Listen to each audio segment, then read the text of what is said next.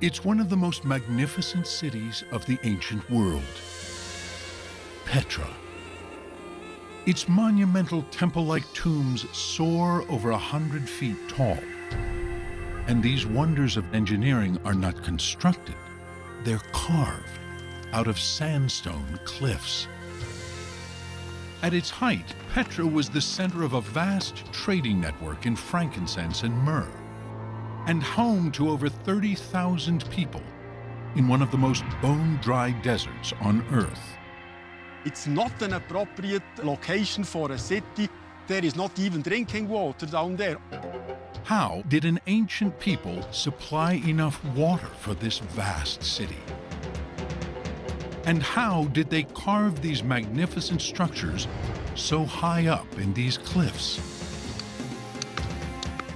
To find out, a geoscientist teams up with stonemasons to carve a Petra-style tomb. We're looking at something that hasn't been witnessed for almost 2,000 years. And archaeologists and hydro engineers discover how a group of nomads transformed this desert city into an oasis, the Las Vegas of the ancient world. It's really conspicuous consumption of this precious resource, water, in this desert environment. Finally, after 2,000 years, the secrets of Petra are about to be revealed. Up now on Nova, Petra, lost city of stone.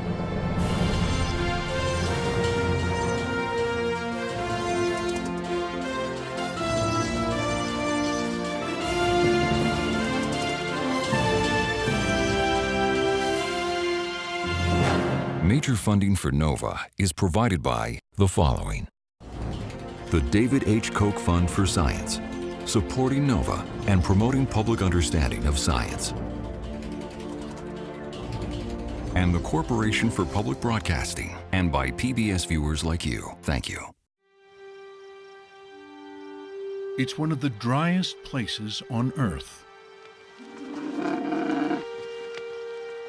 Yet concealed among the canyons of this harsh desert in the Kingdom of Jordan is a magnificent ancient city.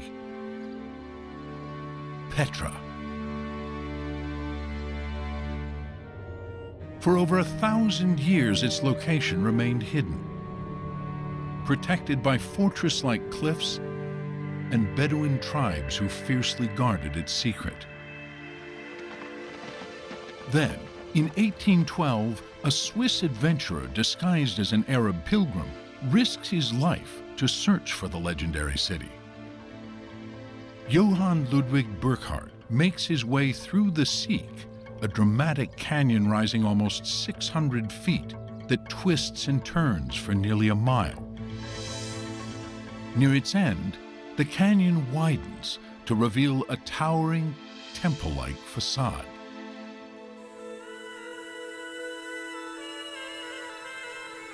It is called the Treasury, or Khazne in Arabic.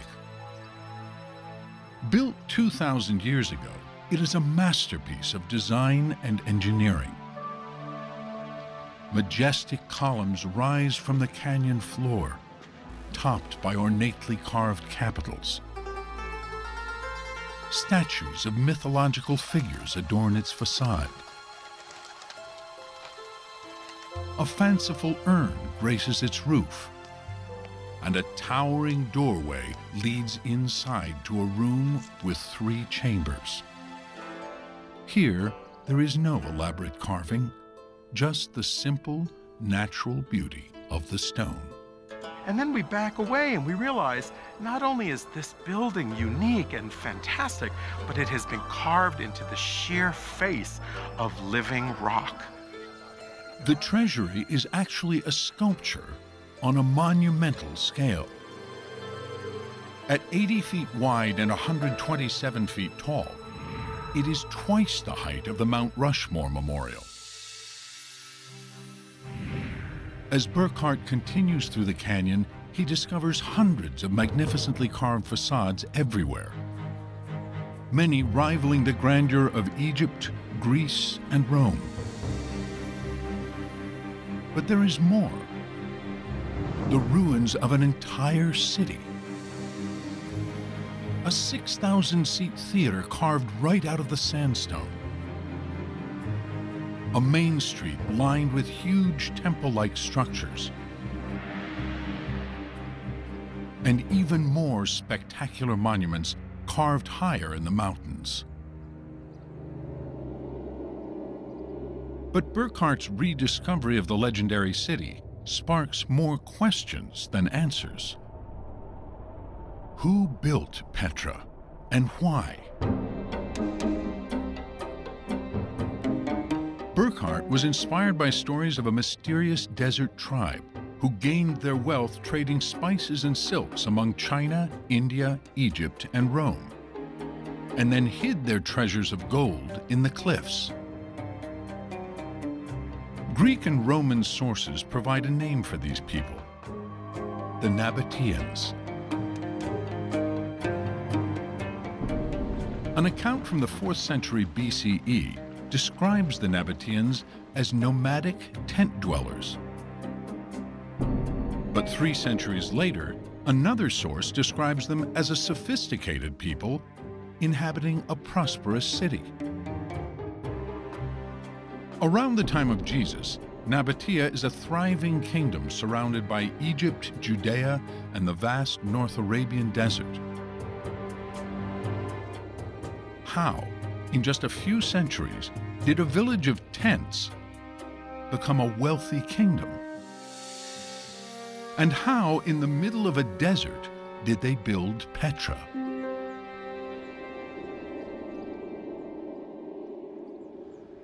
Tom Paradise has spent over three decades trying to find out. He's a geoscientist who specializes in preserving ancient structures. Alongside the treasury, he sees strange square marks that could be a clue to how it was built. Are these marks the remnants of where an ancient scaffold was anchored to the cliff face? For many years, people considered these to be holds for wooden scaffolding that may have been used for the actual carving. But Paradise has doubts. If these are scaffolding marks, why did the Nabateans leave them here? And why are they found nowhere else in Petra? Paradise believes the real reason for the marks may be tied to the fanciful name given to this monument centuries ago. This building is called the Khazne. It is the treasury. And so legend goes back millennia that this housed riches.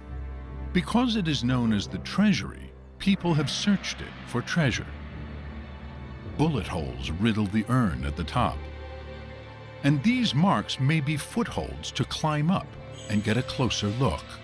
We think maybe those footholds were carved for the purpose of raiding the upper parts of the Khazne, looking for the treasure. But the urn holds no gold. It's solid rock.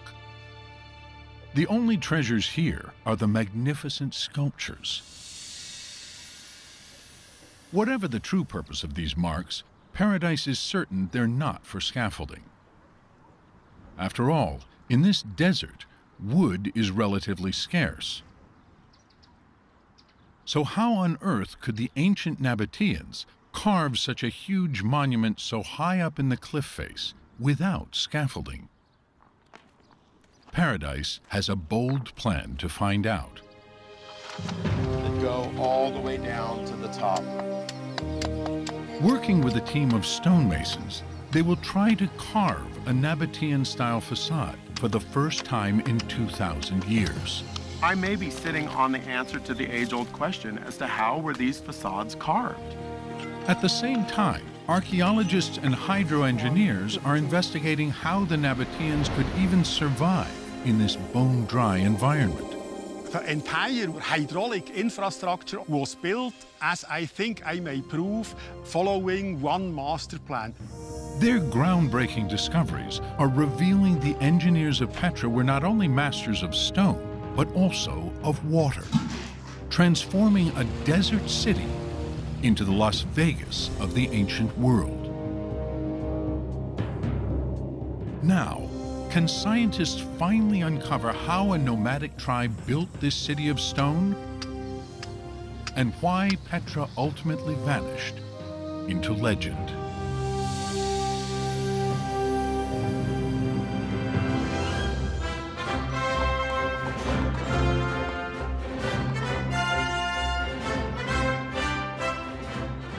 People will recognize the treasury from the climactic scene of Indiana Jones in The Last Crusade, where Harrison Ford and Sean Connery enter a secret temple to discover the Holy Grail.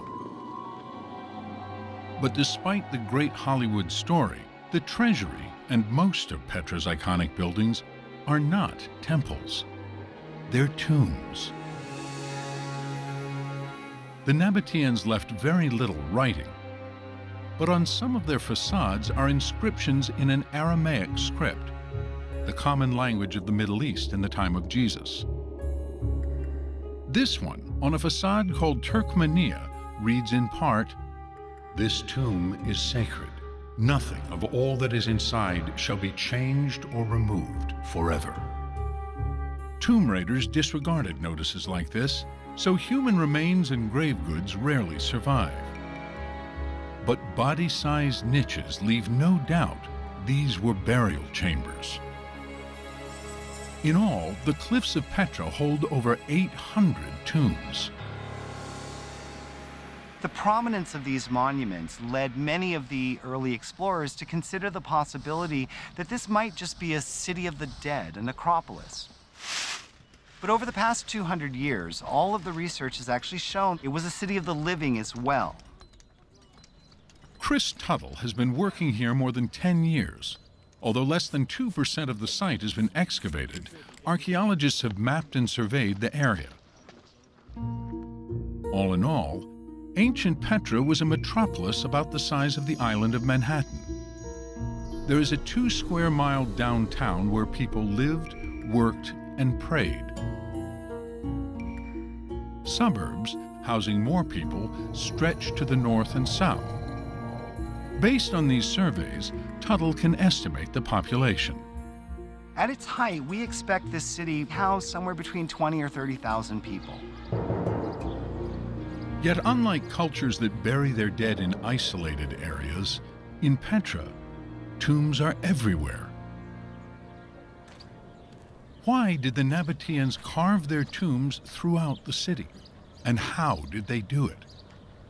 Paradise hopes his carving project will provide some answers. Creating an experiment in which we reconstruct a facade will give us insight into how the Nabateans carved these fantastic facades 2,000 years ago. But Paradise can't carve his facade here. Petra is a protected World Heritage Site. He must find a cliff face with the right kind of sandstone somewhere else. His search takes him a world away to Southern California. Looks like a promising prospect. Yeah. While the ocean view is a sharp contrast to the Jordanian desert, the sandstone is identical to Petra's. Paradise enlists stonemasons Blake Rankin and Nathan Hunt. With permission from the landowner, they search for just the right rock. Hunt is a classically trained master carver and architectural sculptor with over 18 years of experience. We're looking for a fine-grained sandstone which lends itself to ornamental carving. Sandstone is a soft rock made of compressed layers of sand and minerals. That looks like the type of stone we're looking for. Yeah, this is great. It looks like it's going to carve really well. The team has found the perfect rock and cliff face. Now they must find the right tools for the job. Back in Petra, Paradise discovers a clue in the stone. Chisel marks made from iron tools. The technologies used with chisels and stonework haven't changed in 2,000 years. We use the same chisels, and so they leave the same marks. By matching modern-day tool marks with those found in Petra, their advisor Tom Paradise tells them exactly which tools to use. The claw chisel, the flat chisel, and the pointed chisel. The pointed chisel is used for the coarser chiseling that removes large amounts of rock. So the pointed chisel is exactly what Hunt and Rankin used to begin work. Yeah, feels good to be carving. But their exuberance fades fast. Carving by hand is seriously slow.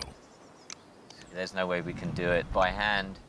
A Greek source says the Nabateans had few slaves, but they probably did have plenty of skilled manpower and time. Hunt and Rankin have neither, but they have power tools. Even so, Rankin insists they're not cheating. This is a chisel very similar to one that the Nabateans would have used. The only difference is that we've mechanized the hammer process so that we can move a lot of stone really quickly. The carvers have found the right rock and the right tools for the job. As Hunt and Rankin prepare the cliff face, Paradise must decide what exactly to carve. What makes a Nabatean tomb Nabatean? Many of the facades in Petra actually look like they belong somewhere else. At the treasury, Paradise finds statues, columns, and capitals reminiscent of ancient Greece and Rome. And across Petra, he finds architectural features from other far-flung empires. A step design associated with Assyria and Mesopotamia. Elephant-headed capitals evoking India. Even Egyptian obelisks. But among the familiar are designs Paradise has seen nowhere else. There's a pediment on the top that is split in the middle, capped by a cone, a capital, and an urn at the top. This isn't Greek, this isn't Roman. This new design is seamlessly mixed with features from far-off cultures. The architecture is the synthesis, and this begins to tell us a story that is the real Petra. What makes a Nabatean tomb Nabatean is the combining of their own unique style with designs from other empires. But how did these people in the middle of the desert come into contact with such faraway places? Two words, frankincense and myrrh. Frankincense and myrrh were must-have luxury items in antiquity. In the New Testament, they are among the gifts the three kings bring to the baby Jesus. Made from dried sap from trees in the southern Arabian Peninsula, they were burned obsessively in religious ceremonies in Egypt, Greece, and Rome. But to get that incense to consumers throughout the Mediterranean, it first had to be transported through the desert.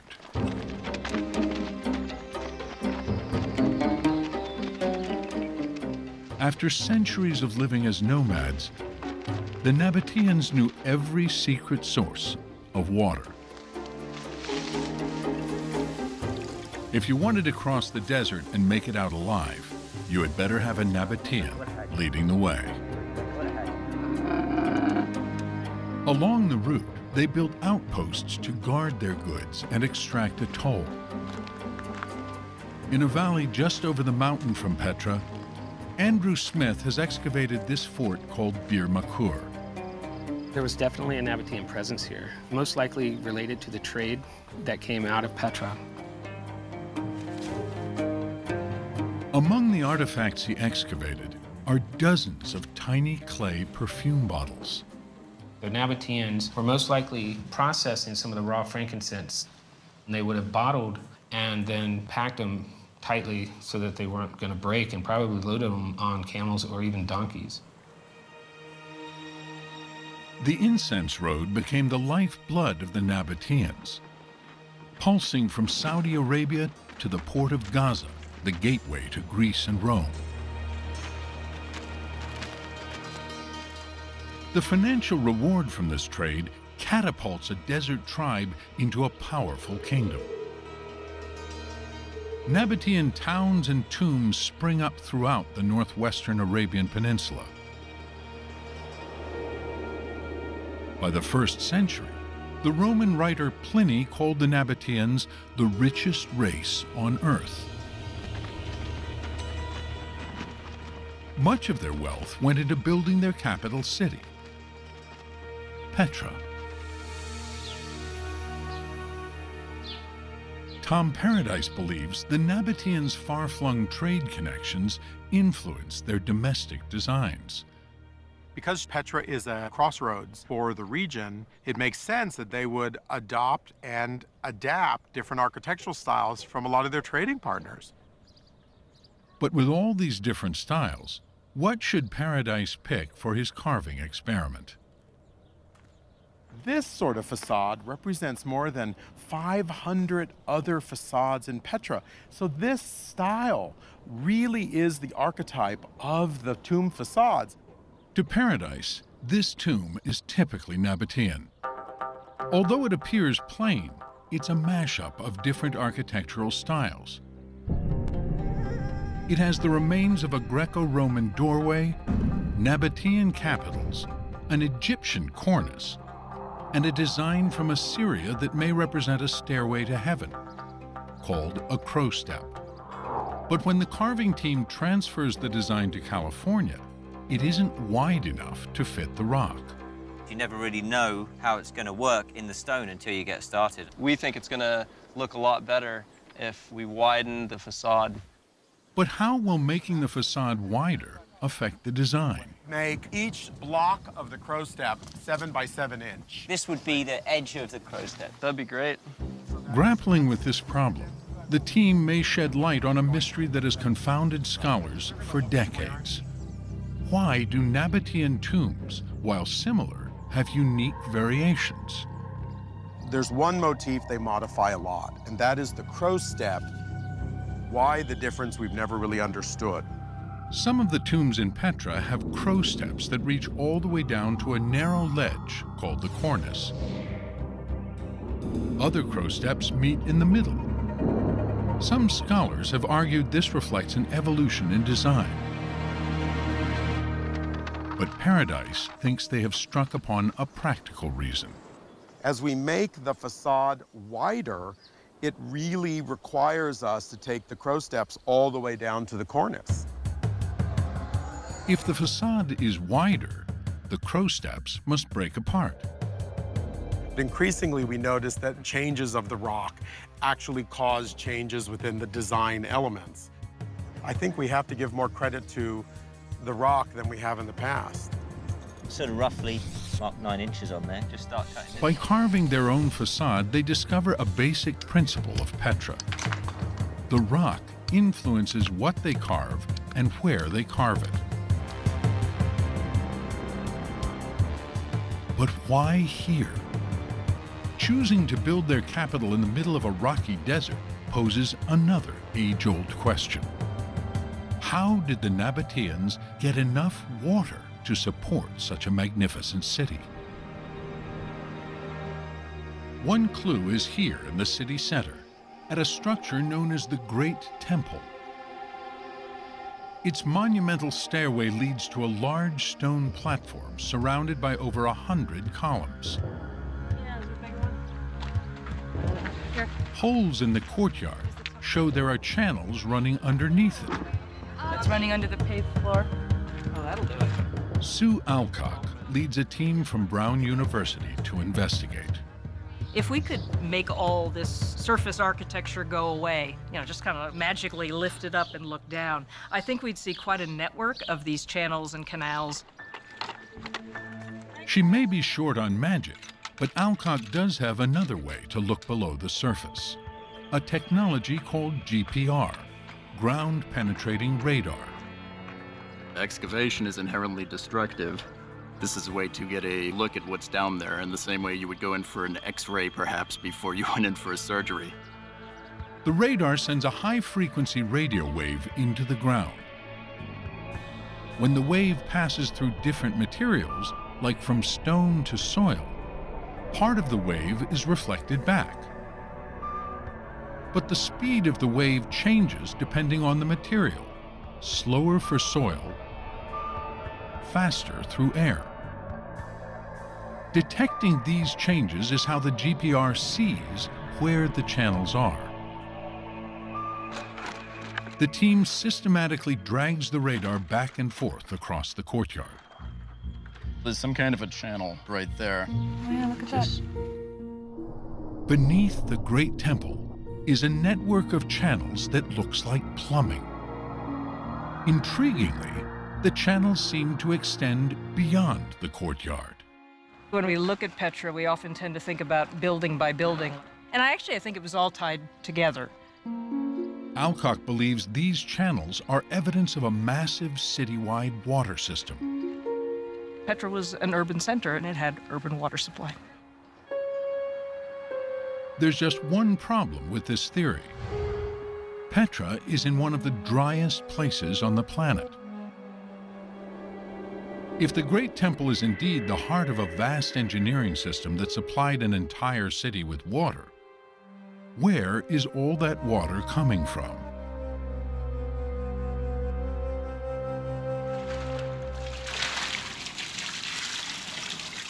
One possible source is still used daily by locals. It's called Ain Musa, or the Spring of Moses. Alison Mickle and Cecilia Feldman of Brown University's survey team join hydroengineer Charles Ortloff to investigate. In Numbers 2011, it talks about how the Israelites were wandering in the desert and Moses strikes this rock in anger and water flows forth.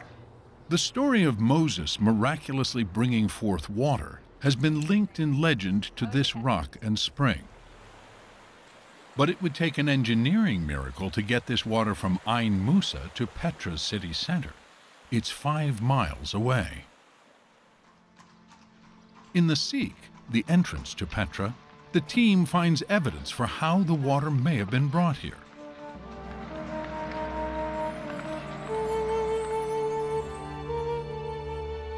Running along the side of the path is a narrow channel which has imprints of what were once enclosed ceramic pipes. If you look inside of the channel, you can see the actual imprints of ceramic sections that are roughly about a third of a meter long. At roughly a foot long, it would require tens of thousands of segments to create a five-mile pipeline from Ain Musa, high in the mountains. And every one of those joints would have the potential to spring a leak.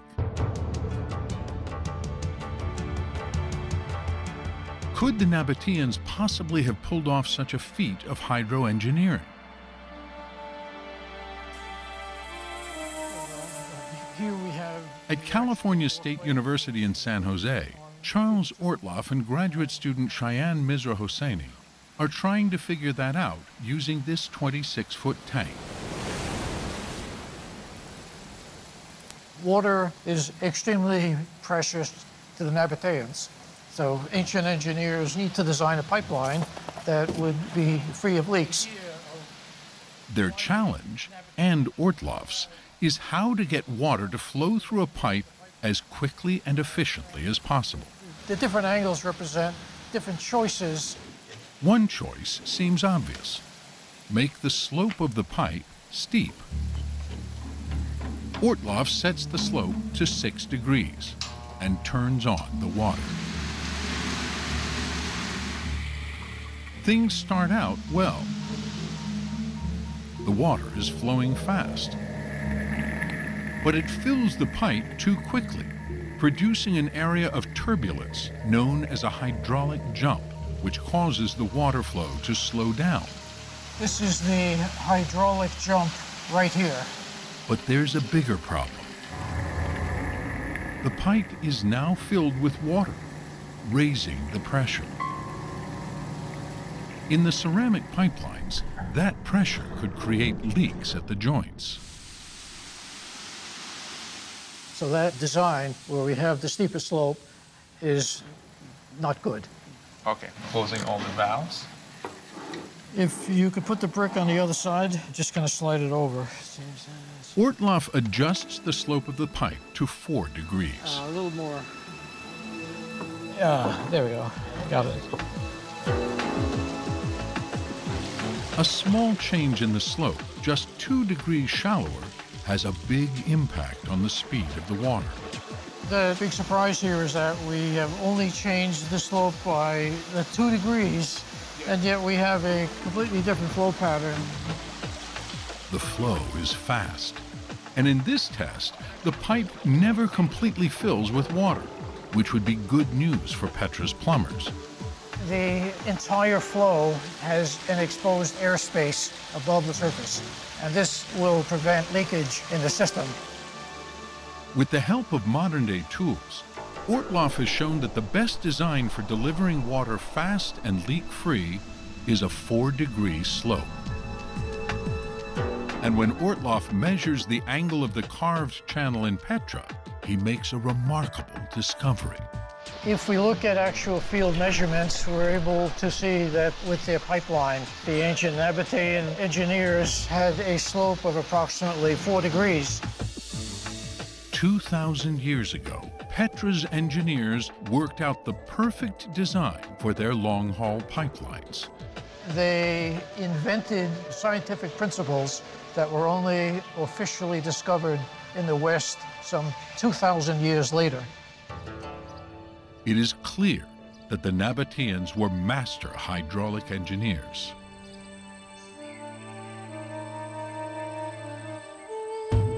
But water is not the only scarce resource in the desert. Wood from local trees was also in short supply. So how could the Nabateans build their tombs so high up in the cliff face without using large wooden scaffolding?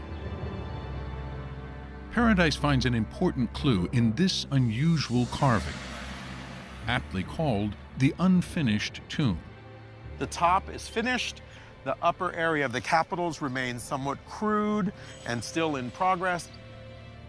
But then below that, nothing has been carved at all. It's the natural sandstone face.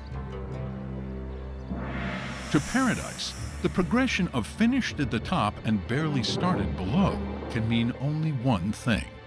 The Nabateans started from the top and carved down. The unfinished tomb shows that Nabateans began by sculpting the top layer of the facade and then work their way down the cliff face. Getting windy again. Yeah. Back in California, Paradise tells Hunt and Rankin they must carve their facade Nabatean style, top down and without scaffolding. There's a lot of challenges involved in trying to figure out how the Nabateans carved a piece like this. I die like a Nabatean is my worst fear. Falling off the rock. Up to now, they've been using safety harnesses. But the Nabateans' top-down approach gives them an ingenious idea for how to carve without harnesses or a large wooden scaffold. We've drilled into the stone here and placed a couple of pins and then put a plank on top and created a temporary and movable ledge. It doesn't require a lot of material. They drive three pins into the rock and lay just a couple of planks of wood across them, forming a platform. As their carving descends, it erases the holes they've made, leaving no sign of their platform. By the time we get to the bottom, we've pretty much removed all evidence of any plank. The pin and plank solution works perfectly. It could explain how the Nabateans were able to carve so high up without scaffolding, and why no evidence for the technique can be found. Halfway through the carving, the team makes another discovery. We can move a lot of stone really quickly with these chisels. We've been moving a surprising amount of stone every day. A little carving creates a lot of rubble. I really cannot believe that much carving produced this much rubble. The rubble has formed a ramp. This means they don't need their platform anymore. Now they can just walk up to the facade. When we see this much material being produced from the carving, we now realize that we create ramps from this rubble that gives you access to the facade for the stone carvers. Combining the clues found in Petra with the discoveries in the carving project, a new theory emerges for how the Nabateans may have carved the treasury. They begin by climbing to the top. Here, they cut a narrow ledge into the cliff face. Using ancient drills, they fix pins below the ledge and lay planks across to provide a platform for the carvers. The first thing they carve is the urn and the upper layer of the monument. They work their way down, sculpting the split pediment and the magnificent statues. About halfway down, the debris from the carving forms a ramp. Now the carvers can walk up to the facade and continue carving the elaborate capitals and the handsome columns. We don't know of any other culture or society using this kind of engineering technique for this scale of construction. The top-down approach turns out to be a brilliant innovation for carving these tombs in Petra's sandstone cliffs.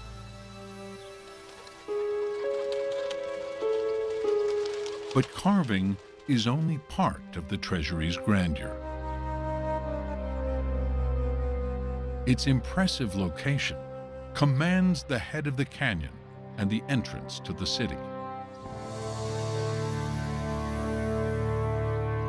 Yet the same narrow canyon that creates this dramatic reveal can also be a death trap. These amateur videos capture a rare but deadly desert hazard, flash floods. Petra's average annual rainfall of just a few inches can hit all at once and pour down this gorge with lethal force. Flash floods took the lives of 22 French tourists here in 1963, and even today could damage the treasury. Willy Bellwald, a Swiss architect and archaeologist, has come to Petra to protect both tourists and the treasury. He's searching for clues to how the Nabateans held back the floods. When they decided to carve this facade into the cliff, they had to do something against flash floods in wintertime. Next to the treasury is a narrow gorge. Here, Bellwald finds huge blocks mortared together to form an ancient dam. It's 2,000 years old and still totally preserved. But this one dam would not be enough to protect the treasury. So Bellwald is on the hunt for more dams. While the landscape appears to be plain rock, to Bellwald it is packed with clues. He notices different colors on the canyon wall. Above this line, the stone is dark. Below, it's lighter which Bellwald believes is caused by mineral deposits from water once stored here in a reservoir. Following this waterline brings him to an area where two deep grooves have been carved into the canyon walls. The grooves show where a dam once stood. All these dams had to be anchored into the cliffs on both sides that they could easily withstand the pressure of the retained water. Following these clues, Bellwald has uncovered an ancient Nabatean dam system. The Nabateans built five dams. And to make those dams even more effective, they carved a channel 140 feet long and 16 feet deep to reroute some of the water. This created a large area to store overflow and reduce the force of the water before it reached the treasury. It's an engineering feat almost as impressive as the treasury itself. They realized that if they divert the water, they allow the water to spread out to a much a bigger surface, and this reduced its speed tremendously. It worked perfectly. So perfectly, Bellwald can't improve on this design. Today, a team is repairing this ancient dam network so it can once again protect the treasury. If we want to keep the treasury for the future, we have to protect it again as 2,000 years before from flash floods, and that's exactly what I'm doing. Because the threat of floods was so great, Bellwald believes the Nabateans must have built the dam system and the treasury at the same time. In fact, scholars now believe the grand tombs, the city center, and the water systems, most of the ancient city of Petra, were built within a hundred years around the birth of Jesus. The entire hydraulic infrastructure of Petra was built following one master plan. So just how much water did that system provide? Back in San Jose, Charles Ortloff is figuring that out. These are the main supplies of water from all of the cisterns, all the dams. Ortloff has mapped every water feature he and other archaeologists have discovered. Eight springs for fresh drinking water, 36 dams to protect the city from flash floods, over 100 cisterns and reservoirs to collect and hold rainwater, and 125 miles of pipeline to connect many of these features into one integrated water system. From the map and his flume experiments, Ortloff can estimate the total amount of water available to Petra's 30,000 people. If you sum up all of the water from various sources, that would lead to eight liters per person per day Eight liters is about two gallons. In a world before showers and washing machines, that's more than enough water to survive on. In fact, new discoveries revealed that the Nabateans had enough water to transform Petra into a desert oasis. Evidence of that water surplus is being found right next to the Great Temple, in a large open terrace. It was named by early explorers as the Marketplace. So when Leigh-Ann Bedal began digging here in 1998, that's what she expected. Because it had been called a marketplace, I came in prepared to excavate a market. But as she began digging, at eight feet deep, she discovered waterproof cement. So we knew that we had something containing water, or something deep, her team excavated further and discovered a subterranean structure. We have the southwest corner here, and directly to the north is the northwest corner. Bedal located all four corners to discover overall dimensions of 140 by 80 feet, nearly the size of an Olympic swimming pool. Then, in the middle, she found evidence of a stone platform and surrounding the sunken structure, channels, likely used for irrigating a lower terrace, where soil samples suggest the area had been cultivated.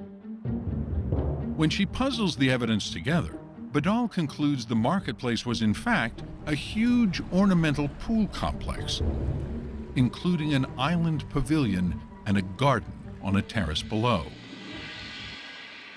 If you can imagine below us this large pool of water and then a green garden uh, with date palm trees and flowers, this is something that is for showing off. Throughout the city center, archaeologists are finding other decorative water features, like fountains and a canal running beside a colonnaded street. It's really conspicuous consumption of this precious resource, water, in this desert environment. Conspicuous consumption of water in the middle of a desert? It seems Petra resembled another flashy desert destination.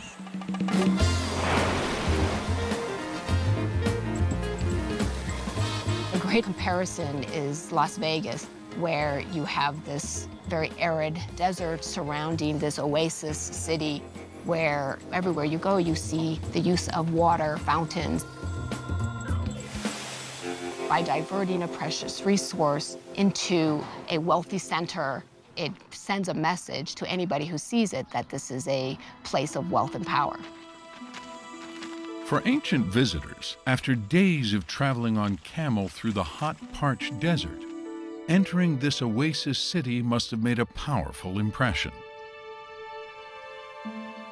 Petra's luxurious pools and internationally inspired architecture likely sparked the legends that echoed through the ages.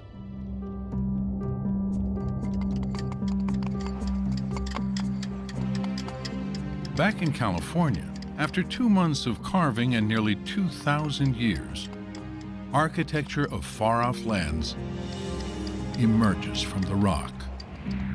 We've got Assyrian, Egyptian, Greco-Roman, but you put it together, you stand back, and it's Nabatean. And now it's a little bit Californian. That's right. Whether the Nabateans were carving tombs for the dead or water channels for the living, their mastery of stone was the key to Petra's wealth and beauty.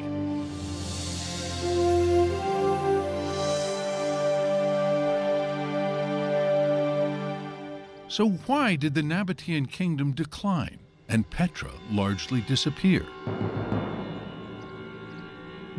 Across the city, collapsed columns point to a prime suspect. Ancient texts record a huge earthquake in 363. As a result, for a while, when archaeologists came to Petra, anytime they saw something like this, they'd say, ah, this fell down in 363. But one catastrophic earthquake does not provide the whole picture of the city's decline. At the Great Pool, the most luxurious place in Petra, there's evidence that hard times hit the city even earlier. It may have been as early as the second century, because at that point we find a lot of animal bones at the bottom of the pool, so it seems to have been used for trash. Found in the Great Pool, this layer of fallen rocks dates to around the 363 quake. But below that, the layer of soil containing the animal bones indicates the pool filled in at least a hundred years before. And there is evidence of more destruction a hundred years after the Great Quake, which may have fatally weakened the city's protective dams. Large sections of Petra's main street are missing pavers. Tom Paradise believes they were washed away in a catastrophic flash flood. The floodwaters rushed down through Petra city center, ripping up cobblestones. This flood inundated the city and may have marked the end of Petra's golden age. Ironically, the very water that brought life to Petra may also have contributed to its demise.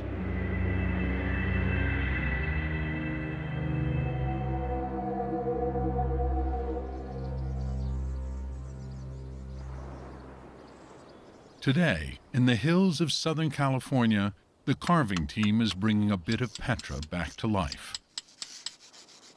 The final flourish will be a feature not found in other cultures. A Nabatean-style capital with a simple knob in its center. Normally, there is a detail here. Typically, there is a leaf or a flower here. You never really see it left in this very abstract form. It's quite beautiful in its simplicity. Paradise believes the Nabateans choose this simple form out of respect, almost reverence, for the sandstone their sense of the rock as a living material that had to be sort of caressed and worked was really as remarkable as their engineering expertise. And the sandstone itself becomes a tool to finish the surface of the tomb. Using the same stone that we carved off the rock, I'm just rubbing the last little stages, just kind of carefully finishing off that last surface.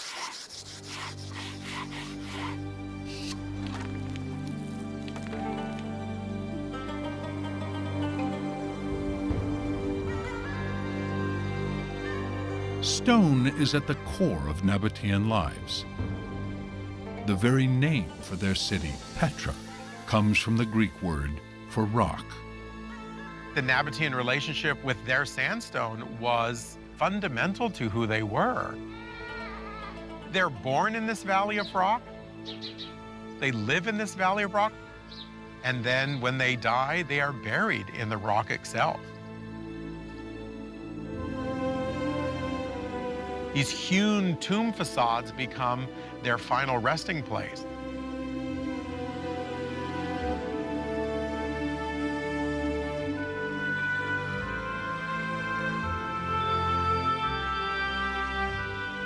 Each year, over a half a million tourists retrace the steps of the explorer Johann Ludwig Burckhardt and gaze up in awe at the treasury.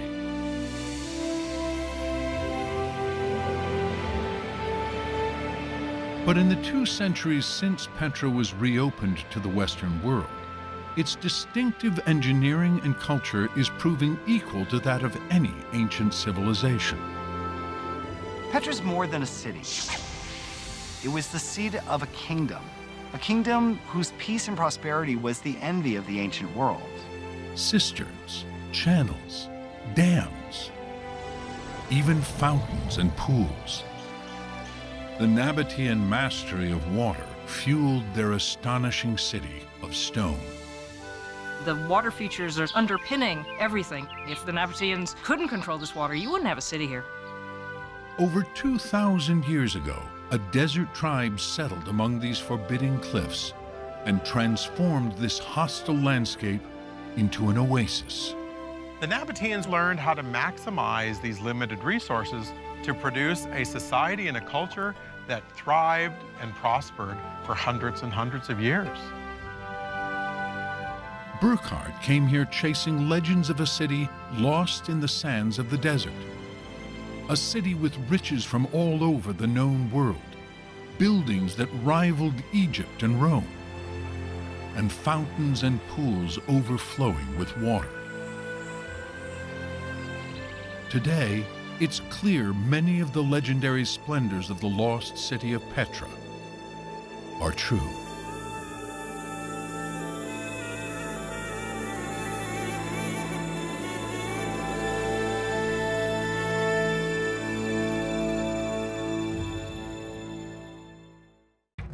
The story continues online, where you can watch this and other NOVA programs. Unlock the secrets of the Parthenon and other engineering marvels. Follow experts as they reconstruct an ancient war machine, the Egyptian chariot, and watch as craftsmen build a replica of Florence's iconic Duomo. See original video shorts, explore in-depth reporting, and dive into interactives. Find us at pbs.org/nova. Follow us on Facebook and Twitter.